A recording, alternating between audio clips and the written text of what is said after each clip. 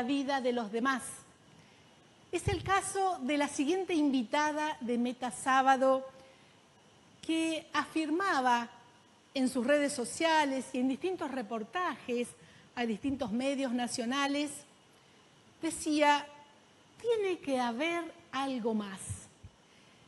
No puede ser que la vida sea solamente pagar cuentas, trabajar, enfermarse, seguir trabajando, pagar más cuentas, discutir, reconciliarse, seguir trabajando, pelear, sufrir, seguir pagando cuentas. No puede ser que la vida sea esto. Funcionaba como una zombie hasta que encontré el eneagrama. Vamos a colocar el graf y con un fuerte aplauso vamos a recibir a la licenciada Bárbara Itzkov. Ella es licenciada en comercialización, pero además es especialista en eneagrama. Eneagrama, esta palabra griega que significa nueve líneas y queremos saber qué significó en la vida de Bárbara para que ahora esté con nosotros y nos enseñe también a transformarnos y expandirnos. Aplauso, aplauso, aplauso. Muy bienvenida, Bárbara. Hola, preciosa, ¿cómo estás? Hola, Estela, ¿cómo estás? ¿Cómo, cómo va esto? Gustazo tenerte con nosotros en Metasábado. Multimedio GS te recibe. ¿Cómo estás, Bárbara? Buen día. Muy bien, muy bien. Gracias por la invitación. Una alegría estar aquí. ¿Te imaginas que queremos saber cómo hiciste? Porque muchas personas sienten que tocan fondo, pero no logran salir y a vos se te ve espléndida. ¿Qué es esto del enneagrama salvó mi vida? Sí, así es, literal, tal como contaste en la presentación, toda la vida hice todo lo que había que hacer, estudié, me casé, me, recibí, conseguí un trabajo. Y, a mis 42 años entré en crisis total, total, total en todos los ámbitos de mi vida, tal como lo contaste.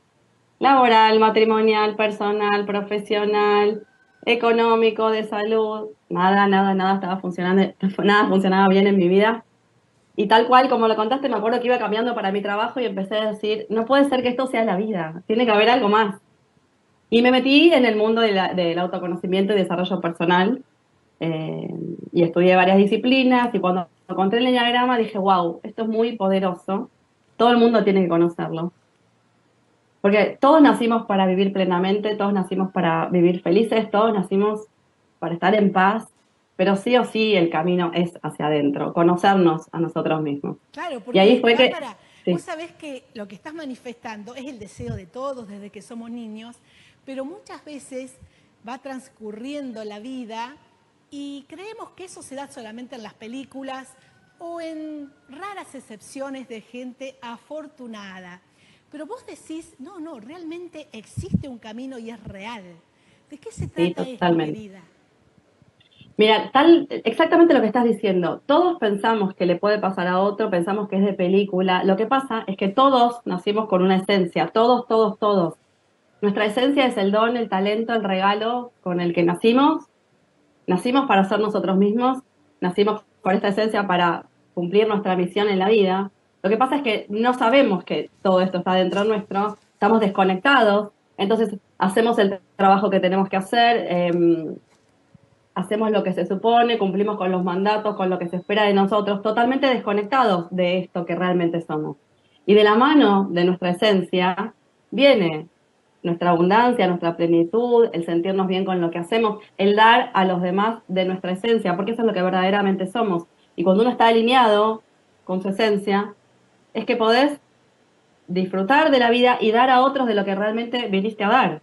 Y el enneagrama justamente, y por eso fue tan, tan impactante en mi vida, porque me, me ayudó a conocerme a mí misma. Yo decía, todos nacieron para algo y yo no nací para nada, todos tienen un don y un talento y yo no, bueno, ahí fue que empecé el camino de autoconocimiento, que fue esta transformación en mi vida total. Y ahora me dedico a dar cursos y charlas para justamente que otras personas también puedan conocerse a sí mismos y conectar con este interior que todos tenemos. Todos tenemos este interior, pero ni sabemos que está ahí. Y entonces en algún momento de la vida, con crisis, con malestar, con sentirnos vacíos, con no sentirnos plenos, nos dice, hey, te alejaste de tu interior, empecé a conocerte, empecé a buscarte. Y ese es el caminito. ¿Y cómo puede ser, eh, Bárbara, que nueve líneas te conecten con tu propia esencia, cuando en realidad creo que desde niños uno cree que está conectado con uno mismo? Qué buena pregunta. En realidad nacemos por una esencia que es el regalo que se nos dio para ser nosotros mismos. Eh, nuestra esencia, nuestro don, nuestro talento, la energía, eh, es, es quien verdaderamente somos. Pero a lo largo de la vida vamos tapando la esencia con capas y capas y capas de miedo, de ego, de personalidad, de una forma tan arraigada que creemos que somos todo esto, tal como lo contás. Cuando nacemos estamos más conectados con nuestra esencia, pero en la medida que fuimos creciendo nos alejamos de esa esencia. Y cuanto más lejos estoy de, mi esencia, más lejos voy a estar de esto que, que soy yo verdaderamente. Entonces, no me voy a sentir pleno, me voy a sentir vacío, me voy a sentir insatisfecho, me voy a enfermar, voy a... Va a pasar todo eso porque todos esos conflictos que nos empiezan a pasar afuera son justamente para darnos cuenta que tenemos que empezar a correr esas capas para ser nosotros mismos. ¿Y cómo las corremos? ¿Cómo las corremos, Bárbara? Bien. Me decías cómo puede ser que a través de nueve líneas uno pueda descubrirse. Corremos las capas conociéndonos a nosotros mismos, conociendo nuestros miedos, nuestras heridas, nuestro ego, nuestra oscuridad, nuestras sombras. La idea es conocer nuestras sombras, conocer nuestros miedos, conocer nuestras heridas, iluminarlas, porque esas no se van a tapar, no las podemos eliminar, es conocerlas, integrarlas, aceptarlas, iluminarlas, poner luz en esa parte oscura de todos nosotros y conocer nuestros dones, nuestros talentos, las cosas que sí nos hacen bien, las cosas que nos salen bien, las cosas que en las que somos, nos sentimos plenos, nos sentimos satisfechos, nuestros dones, nuestra esencia, nuestra luz. Trabajar nuestra luz y potenciar nuestra luz y aceptar y abrazar nuestras sombras. Ese es el trabajo. Y el Enneagrama plantea que hay nueve tipos de personalidad, nueve formas de ver la vida, nueve formas de pensar, sentir y actuar. Y se trata justamente de conocernos a nosotros mismos uno va descubriéndose a sí mismo a través de estos nueve tipos de personalidad. Cuando uno va conociendo el enneagrama, te vas dando cuenta de tus luces, tus sombras. Y lo interesante es que el enneagrama no es que me describe y nada más, no es que yo soy esto, sino que nos muestra a cada uno de los nueve tipos de personalidad un camino que me lleva a lo mejor de mí mismo, a mi integración, y un camino que me lleva a mi desintegración. Esa desintegración es el lugar donde no queremos estar, es el lugar donde seguramente estuvimos y no la pasamos bien. Y la integración es como el camino que nos va llevando a lo mejor de nosotros. ¿Sí? Sí, sí, sí, sí. Eh, en realidad, yo creo que cada uno está donde está porque hizo todo lo mejor que supo hacer para sobrevivir en este mundo. ¿Por qué será entonces que cada uno con su personalidad, con su estilo. Algunos lograron sentirse mejor y de hecho no es una pantalla. Uno se da cuenta que están viviendo con sus problemas cotidianos, pero es otra la actitud que los, que los moviliza, otra la energía que tienen dentro. ¿Sabes qué, Estela? Ahí, en esa palabra que vos dijiste, está la clave para mí. Es que no vinimos a sobrevivir, Vinimos a vivir plenamente, vinimos a sentirnos abundantes, expansivos, a disfrutar, a tener esta energía.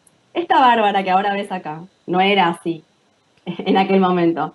No hablaba, este, era súper insegura, no, sentía que no tenía nada para decir, me costaba exponerme. Eh, un montón de otros temas, esta Barbie que ahora se anima a hablar no es la misma que era en ese momento. Es como que estuve en modo supervivencia durante 42 años hasta que empecé mi propio proceso de autoconocimiento. Entonces la clave es esta, saber que no vinimos a sobrevivir, vinimos a vivir plenamente, a, dar todo, a sentirnos plenos, pero la clave está adentro nuestro. Y vos me decías antes cómo eh, a través de nueve líneas uno puede darse cuenta. Yo les voy a mostrar acá cómo es el enneagrama, pero sé como que estamos en radio, después lo voy a contar, pero esto es para que los que puedan ver, lo vean. Eh, puedan ver de qué estoy hablando. A ver, ahí está. Vemos nueve líneas con un círculo. Ahí no me deja poner. Ahí está. Plantea que hay un círculo les cuento a los que están escuchando, Sí, sí, un triángulo y un hexagrama irregular. Todo esto forma el enneagrama. ¿sí? Y, y entre este, este como mandala especial, un círculo, un triángulo y un hexagrama irregular forman esta figura de nueve líneas donde cada uno de estos puntos es un tipo de personalidad. Les cuento, alrededor del círculo hay como nueve puntos y cada uno de esos nueve puntos son los nueve tipos de personalidad. Entonces, ¿de qué se trata? Uno empieza a conocer los señatipos, los señatipos son los tipos de personalidad, y uno empieza a descubrirse. Ahora, si quieren, les cuento un breve resumen de cómo son los nueve eneatipos. Claro, claro, queremos saber a ver con cuál nos identificamos, es indispensable esto. Entonces es muy, es muy lindo y es muy fuerte cuando uno pie- empieza a descubrirse a sí mismo. A mí la gente me dice, ¿cómo puede ser que el enneagrama me conozca? ¿Cómo saben de mí si no me conocen? Es muy fuerte lo que va pasando. Y como nos muestra nuestro camino de integración, nuestro camino de desintegración, y hay un montón de información muy fuerte. Las alas, un montón de, ejes que hay en el medio, un montón de información para leer profunda sobre nosotros mismos. Entonces te, te descubre, te muestra cosas que por ahí conscientemente no sabes, pero están en tu interior. Y cuando uno empieza a ser todo eso, puedes empezar a trabajarlo. Porque no podemos trabajar lo que no conocemos. Pero cuando lo empezamos a conocer y a tomar conciencia y a traer a, a nuestra, a nuestra mente actual, eh, presente, podemos empezar a trabajarlo. Sí, sí, sí. Es toda una sabiduría ancestral, esto no es un invento reciente, ¿verdad? No, tiene da- data de más de 2500 años antes de Cristo. Sí, sí, sí.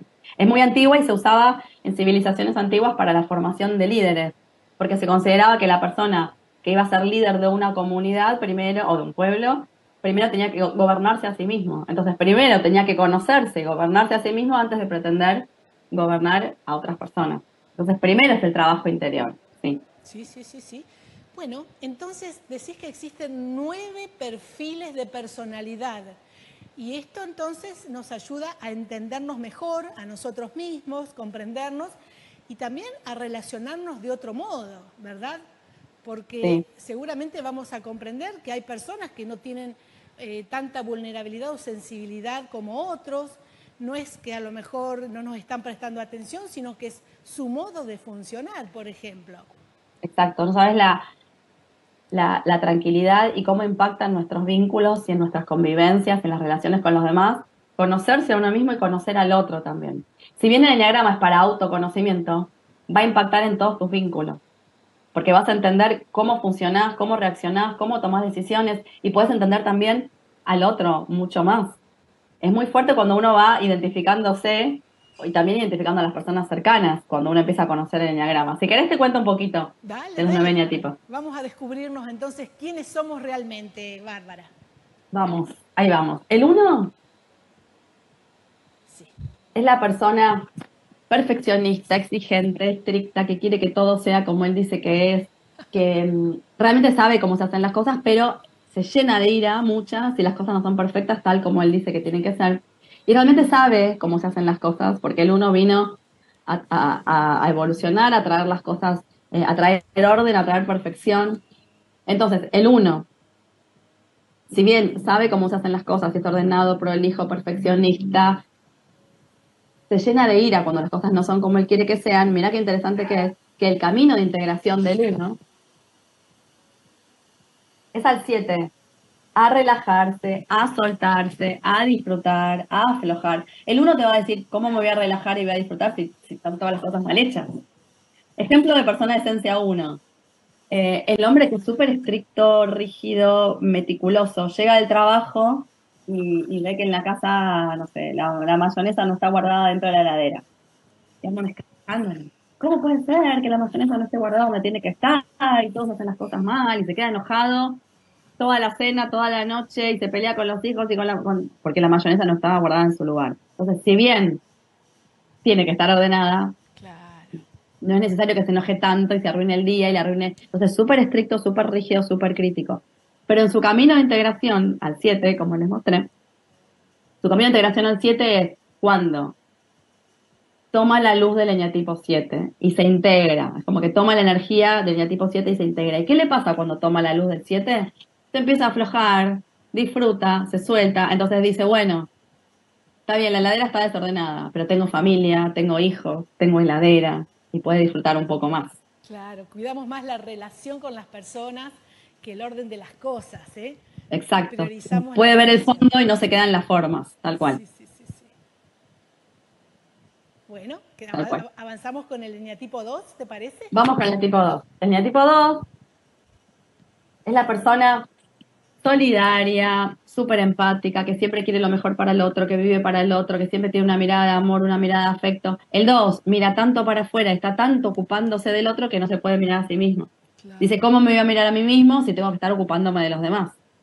Entonces, este, em, siempre tiene una mirada de amor, tiene la palabra justa, tiene el consejo, pero el gran trabajo del 2, justamente su camino de integración, es aprender a mirarse a sí mismo.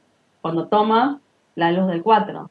¿Vieron cuando en, los aviones caen mascaritas y te dicen, pero ponete a vos la mascarita antes de ponerle al otro?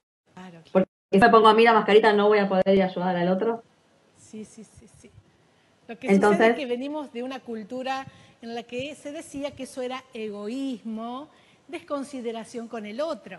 Recién ahora, con estos cambios culturales de paradigma, esta nueva etapa, se comprende que en realidad primero hay que amarse uno y de, para de ese modo brindar el mejor amor al otro, ¿verdad, Bárbara? Claro, y pero al dos le cuesta un montón amarse a sí mismo, porque dice, yo tengo que estar para el otro, y al dos le cuesta un montón. Otros señatipos por ahí no les cuesta tanto amarse a sí mismos. Al dos le cuesta un montón porque le da culpa, dice, ¿cómo me voy a amar a mí misma? Es más, se siente mal, pero va a ir a ayudar a 100 personas. Entonces, en su trabajo de crecimiento, dice, bueno, voy a, voy a ayudar a, 50, pero me voy a tomar el tiempo para curarme a mí también. Es un gran trabajo. El 2 le cuesta un montón poner límites a esos 100 y decir, me voy a ocupar de mí. Pero ese es el gran desafío del 2. Entonces, desde cuidarse y amarse y respetarse y valorarse a sí mismo, desde ahí puede ir a amar a otros mucho más. Y, y, en, y, en, una conciencia más ampliada.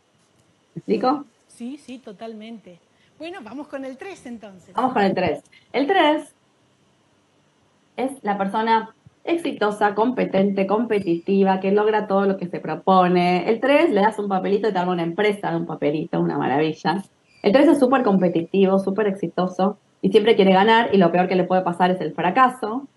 Cuando el 3 fracasa, es una caída emocional muy, muy fuerte, le duele porque tiene eh, no quiere mostrar su vulnerabilidad, le cuesta mostrar que hay cosas que no, que no, que no, que no le van a salir por ahí. Entonces, el 3 es bastante individualista, mis logros, mis éxitos, mis beneficios, mi ganancia. Eh, a veces para el 3 es como el fin justifica los medios, entonces con tal de lograr lo que se propone o demostrar el éxito, por ahí no le importa el otro. Entonces su camino de integración, mira qué lindo, es al 6 a compartir, a pensar en plural, a consensuar, a pensar en el equipo. Puede ser, ejemplo, un em, jugador de fútbol que es exitoso y le va bien y gana, en su camino de integración al 6, empieza a querer compartirlo con otros y tal vez se transforma en un entrenador de fútbol, en un coach, para ayudar a otros a que también sean exitosos. Esto que originalmente es súper individualista, después se empieza a compartir con los demás. Sí, sí, sí. ¿Sí? ¿Sí? El, el, abuelo de Nietipo 3 no quiere dejar ganar al nietito ni al dominó. El padre de Esencia 3, cuando llega al nenito del partido, le dice, ¿y ganaste? ¿Ganaste? No, no le pregunta si disfrutó, si la pasó bien, solo quiere ganar y competir y ser exitoso. ¿Me siguen? Sí, sí, sí, totalmente. Mira, estamos viendo una imagen donde vos decís, yo volví a nacer. Hasta ese punto te ayudó el enneagrama. ¡Qué increíble! Sí, sí, para mí ese día que yo iba caminando para mi trabajo y era un día de enero, 40 grados y yo estaba mal ahí y estaba, me sentí, bueno, te contaba toda la crisis, un problema de salud, me entraba en ese momento, no teníamos un peso para comer, fue tremendo. Y yo me acuerdo que iba para mi trabajo y empecé, ese día que yo pensaba, tiene que haber algo más, ese día para mí volvía a nacer, porque yo empecé a sentir, tiene que haber algo más, tiene que haber algo más. Y había algo más, que era conectarse con uno. Al final, esa sensación que yo tenía de que no podía ser esta vida, era que había algo más, pero la salida es hacia adentro. Y de hecho, para mí, ese es mi segundo nacimiento. Este posteo que ves ahí e, es del día de mi segundo nacimiento. Para mí, yo tengo dos fechas de nacimiento: la de octubre y la de enero, literal. Sí, sí, sí. Estamos dialogando con la licenciada Bárbara Itzkov. Ella es especialista en Enneagrama, es speaker, es conferencista y nos está compartiendo su experiencia, su historia de vida, cómo llegó al desarrollo personal, al autoconocimiento. Querida Bárbara, una vez que identificamos nuestro eneatipo, ¿cuál es el siguiente paso? Es muy profundo cuando uno va identificando su eneatipo. Hay algo muy interesante que yo hasta ahora te contaba, por ejemplo, que el 1 es la persona perfeccionista que hace las cosas bien, el 2 es la persona solidaria, el 3 es la persona competitiva, exitosa. Te lo digo así resumido. El 4 es la persona creativa, profunda, sensible, que tiene muchos altibajos emocionales y que un día está súper bien y un día está súper mal. El 5 es la persona eh, profunda, eh, que quiere sabiduría, que quiere entender, que súper mental, los conocimientos, la sabiduría. El 6 es la persona colaboradora, leal, responsable. Te lo digo así rápido para contarte lo que te quiero contar. El 7 es la persona alegre, divertida, entusiasta, que siempre está todo bien, que siempre que llovió paró, que, que quiere traer conexión, alegría, positiva. El 8 es la persona fuerte, líder, que se impone, que es como el líder natural, el que la gente lo sigue, pero es una persona que por ahí, más conectada con su sombra, se llena de ira y se llena de ira y puede ser muy eh, agresivo, lleno de ira y en la luz es un gran líder para los demás. Y el 9 es la persona pacifista, tranquila, que quiere armonía, que es súper mediadora, que entiende una parte y entiende la otra y que no quiere conflictos. Entonces, mira qué interesante. Todos nacemos con una esencia que es nuestro eneatipo principal, pero además necesitamos un equilibrio entre los otros ocho. ¿Sabes por qué? Porque todos vamos a necesitar nuestro uno para hacer las cosas bien, todos vamos a necesitar nuestro dos para ser solidarios y pensar en el otro, todos vamos a necesitar nuestro tres y ojalá todos lo tengamos desarrollado y podamos lograr todo lo que nos proponemos. Todos necesitamos nuestro cuatro para ser profundos, sensibles. Todos necesitamos nuestro cinco para querer saber, para querer entender, para ser curiosos. Todos necesitamos nuestro 6 para ser colaboradores, leales, responsables. Todos necesitamos nuestro 7 para ser alegres y disfrutar la vida. La persona que no tiene desarrollado su 7 interior es alguien que no está disfrutando la vida. Y esto ya es alarma para ver, hey, tengo que hacer un cambio. Todos necesitamos nuestro 8 para poder tomar decisiones, para aprender a decir que no cuando tenemos que decir que no y aprender a decir que sí cuando tenemos que decir que sí. Y todos necesitamos tener nuestro 9 desarrollado para estar en paz, en armonía, entonces, sea yo la esencia que sea, tengo que trabajar el equilibrio entre los nueve eneatipos. Entonces, mi esencia va a venir de la mano de mis dones, mis talentos, quién verdaderamente soy yo, cuál es mi motivación, pero el equilibrio entre los nueve va a ser a cómo estoy viviendo yo mi vida. Entonces, si alguno de todos estos no lo tengo desarrollado, tal vez en esa área de mi vida no estoy pudiendo avanzar. Sí, sí, sí. Fuerte. Claro. Por ahí no estoy pudiendo tener disciplina, eh, ir para adelante. Por ahí estoy teniendo un tema con mis vínculos. Por ahí no logro lo que me propongo. Por ahí no me, no me estoy mirando a mí mismo, no estoy profunda conmigo mismo. Esto es el amor a uno mismo. Por ahí me está costando eh, entender, ver las cosas como son, ver la realidad. Entonces, cada uno tiene un impacto en nuestra personalidad. Entonces, me preguntabas antes, ¿cómo es el trabajo? Primero, identifico mi eneatipo y después tengo que ver cómo está mi personalidad. Como que son dos trabajitos, mi eneatipo y mi personalidad. Claro, claro. Estamos escuchando muy atentamente, querida Bárbara, realmente qué importante, qué linda nota, realmente para volverla a ver. Quiero que toda la teleaudiencia del Ver TV y la audiencia de la 90.3 sepa que esta nota va a quedar permanentemente en el Facebook, en el YouTube del canal, porque creo que es muy valioso volverla a escuchar. Bárbara, estás ofreciendo talleres, cursos, capacitaciones. ¿Nos querés contar un poquito? Dale, les cuento. La semana que viene, el 5 de diciembre, empieza un taller de introducción al enneagrama y a las leyes universales. Y en enero comienza el curso nivel 1 eh, de enneagrama. Es para trabajar en uno mismo, para conocerse uno mismo. El taller de diciembre es introductorio para que la gente pueda empezar a ver de qué se trata. Y ya el de enero es un curso para trabajar en nosotros mismos. Es muy interesante porque en el curso conocemos los eneatipos, conocemos las heridas, conocemos las luces, el ego, la integración, la desintegración. Y al final, las últimas clases, leemos nuestro propio mapa personal. O sea, todo lo que aprendemos lo aplicamos en nosotros mismos, en nuestro mapa de enneagrama. es súper fuerte lo que va pasando con las personas, cómo a las personas le caen las fichas y se terminan de descubrir. Es muy hermoso lo que pasa. Así que sí, la semana que viene empezamos un taller de introducción y en enero empezamos el curso nivel 1. Así que los que quieran me pueden conectar, contactar ahí en, el Instagram que está en la pantalla. Sí, arroba pasión expansión. Arroba pasión expansión es el Instagram de la licenciada Bárbara Itzkov, especialista en Enneagrama, con esta historia hermosa que nos acaba de compartir. El número de teléfono también figura en sus redes sociales, 11 56 57 35 17.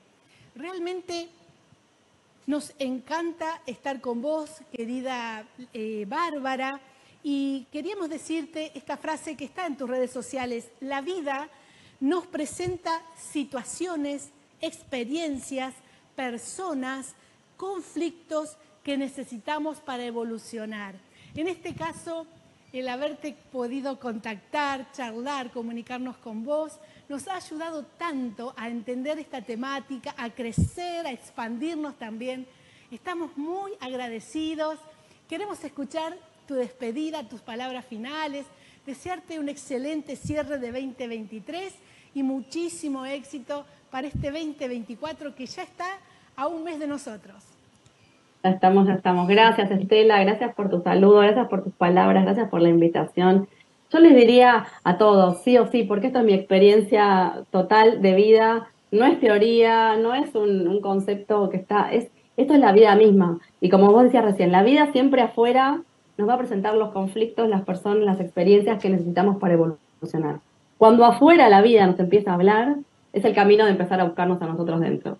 Cuando afuera pasan cosas que no podemos entender, tenemos conflictos, nos sentimos insatisfechos, es la vida que nos está diciendo, hey, el camino es para adentro. Y para mí, para terminar, la última frase que para mí es súper fuerte es, nada más poderoso que vos cuando te conoces a vos mismo. Qué hermoso, qué hermoso. Nada más poderoso que vos cuando te conoces a vos mismo. Te mandamos un abrazo lleno de luz, de amor. Muchas gracias por ayudarnos a crecer, a expandirnos en luz, conciencia y amor. Un gustazo, querida. Chin, chin por vos. Gracias. Hasta el próximo Un placer. Chao, Un beso grande. Este tema Saludos a todos. para vos. Chao. Temita musical para despedir a nuestra querida, a nuestra querida amiga. Bueno, bueno, allá vamos entonces con una tandita, ¿puede ser? Ya volvemos.